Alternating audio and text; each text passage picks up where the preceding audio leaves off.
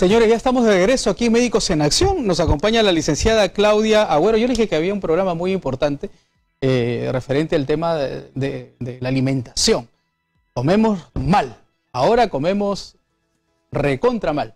Hace algunos años quizás teníamos una comida más sana, pero bueno, ya la, globalización y todo el tema de, estas este, eh, franquicias, marcas que han venido al Perú y a los países latinoamericanos eh, a instalarse, ¿no?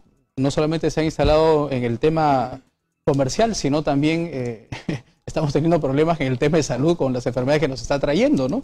Como el sobrepeso, la diabetes, la hipertensión, ¿no? Y tantas enfermedades más que eh, sin duda pues ponen en riesgo nuestra vida.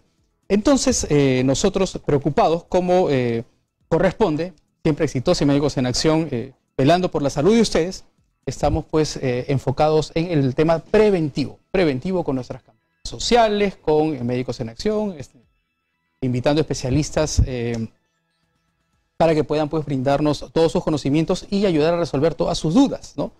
Ahora pues nos acompaña la licenciada Claudia Agüero, ella es nutricionista y nos va a hablar acerca de la importancia del consumo de las frutas y las verduras. ¿Cómo está licenciada? ¿Qué tal? ¿Cómo estás?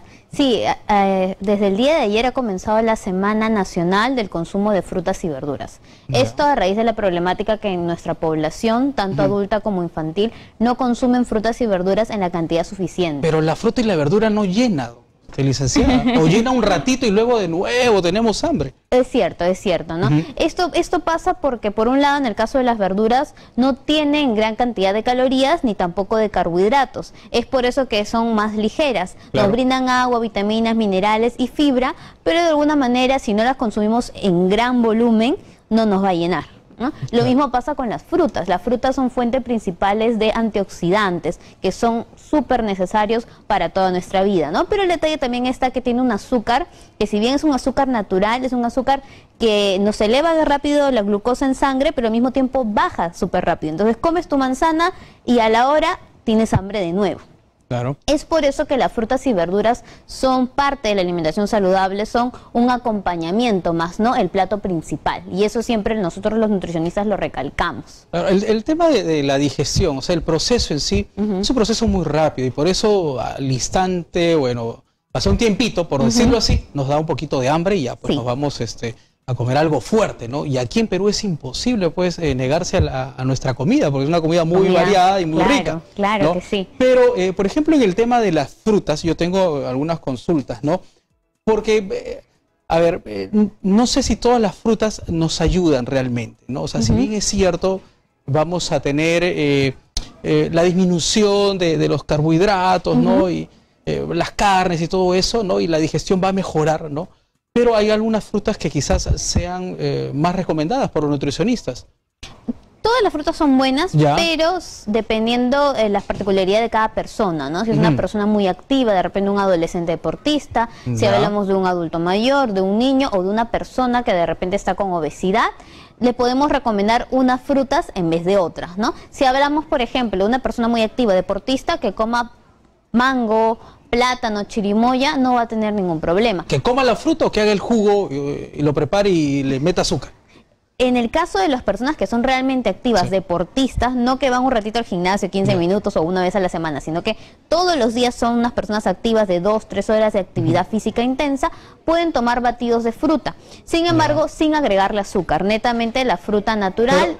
sí, pero usted qué recomendaría? O sea, la fruta licuada o la fruta eh, para, el, para, el, común de las personas como nosotros, que somos medianamente sedentarios, los batidos y los jugos y los extractos no son aconsejables. Lo mejor es la fruta picada y la fruta entera. ¿Por qué? Porque los jugos van a tener más calorías, van a elevar mucho más rápido el azúcar. Porque además, como bien lo comentaste, le agregan azúcar, le agregas miel, le agregas algarrobina.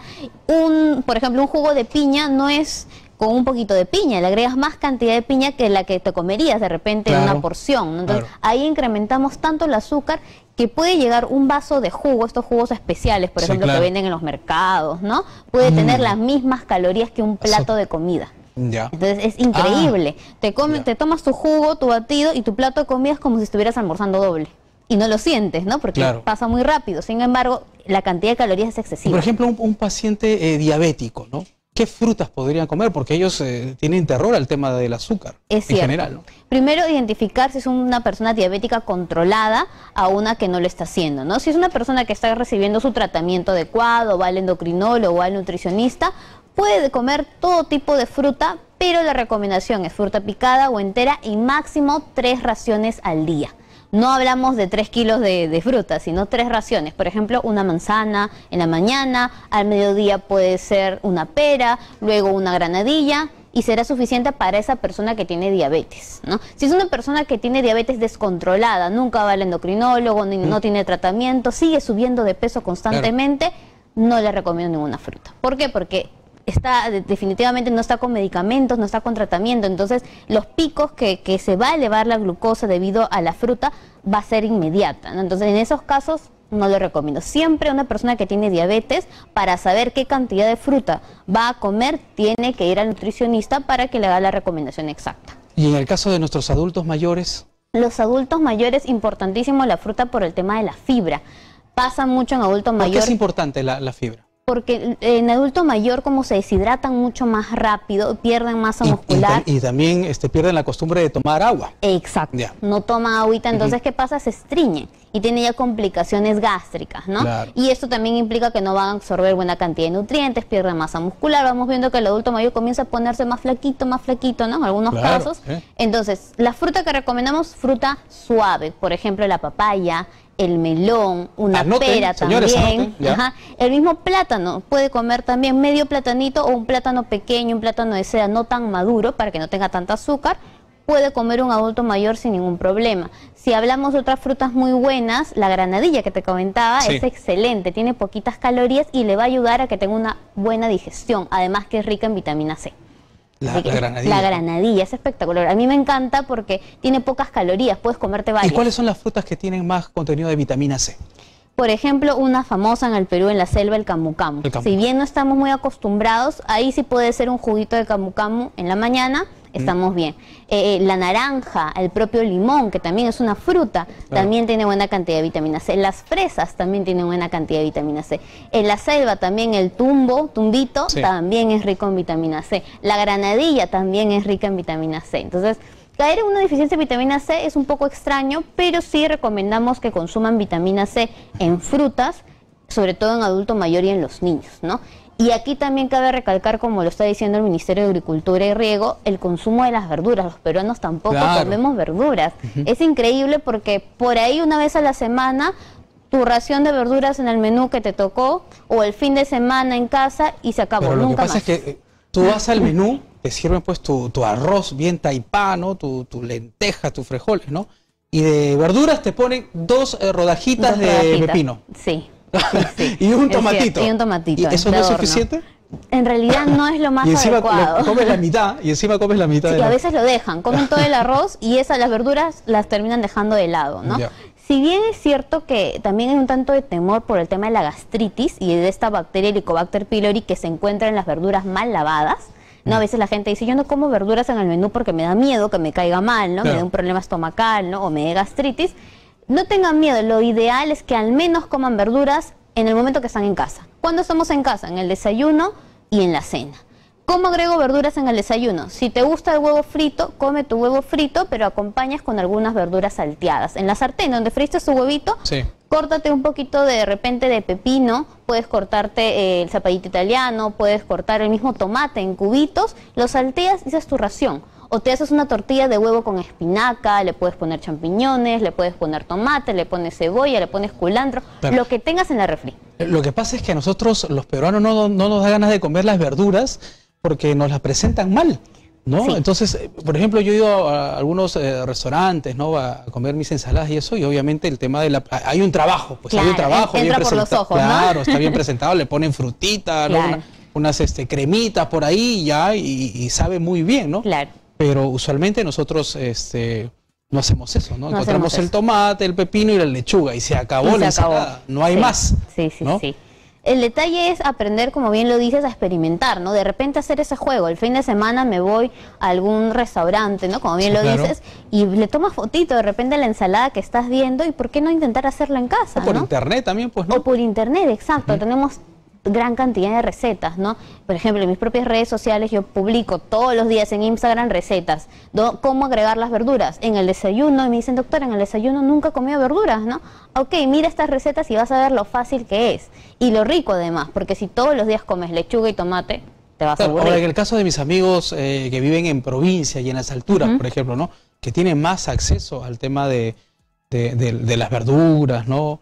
Los tubérculos y todo eso ellos, por ejemplo, eh, ya ahí sí es cero, ¿ah? el tema de, verduras, porque usualmente lo, que es, ensalada son como platos fríos, ¿no? Claro. Platos fríos. Entonces no hay una costumbre. Claro, por el tema del clima, ¿no? Es cierto, es muy cierto eso. Ahí de repente lo que podemos hacer es eh, agregar ese tipo de verduras, no tanto cocidas, pero sí en el tema del guiso, ¿no?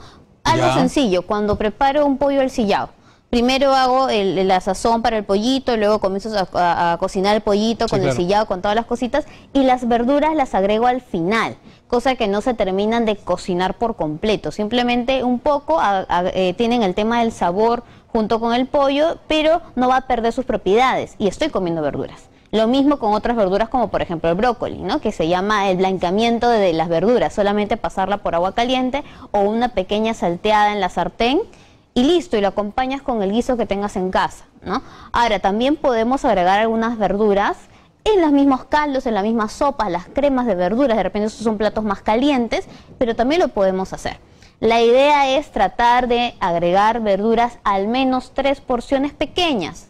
Juntamos las palmas de las manos y esto es lo que debemos de comer de verduras. Tampoco pedimos que sea un bol enorme, ¿no? Muchos creen que comer verduras, ay, como no tengo, ¿no? Para hacerme esa súper ensalada, entonces mejor no como, lo evito lo que tengas en casa, mientras que sea una verdura, estamos bien. La idea es comenzar a hacerlo.